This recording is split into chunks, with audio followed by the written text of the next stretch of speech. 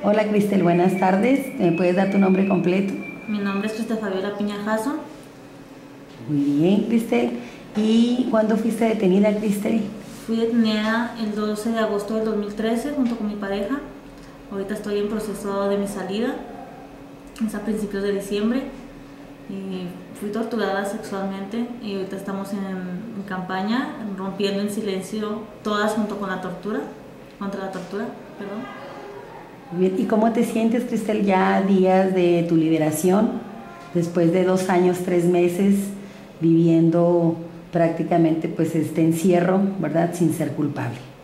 Pues la verdad muy contenta que se haya hecho justicia todo esto, lo que se haya hecho, porque la verdad hay tanta gente inocente que ha sido desgraciadamente pasado por lo mismo que yo. Y agradecerle al Centro Paso del Norte por el apoyo que me ha brindado a mí y a mi familia, porque no, no me han dejado sola en ningún momento y porque han estado ahí constantemente todos los que se encuentran ahí. Además, en tu salida no solamente te espera tu familia, ¿quién te espera allá afuera, Cristel? Mis hijos. Exacto. Tus hijos, ¿qué edad tienen tus hijos, Cristel? Mis hijos, eh, Ángel tiene siete, Santiago tiene tres años. Sigue, ahí. ¿Qué sigue, Cristel? ¿Qué esperas tú de ahorita con, con tu salida? Pues la verdad, que paguen los culpables de todo lo que hicieron y la reparación de todos los daños y más ser emocional porque no fue cosa fácil pasar por todo lo que se ha pasado aquí.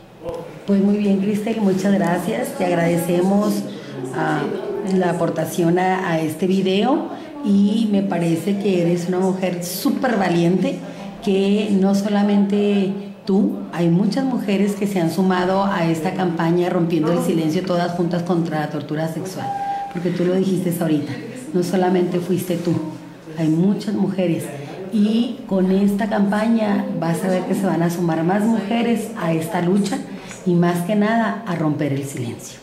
Muchas gracias.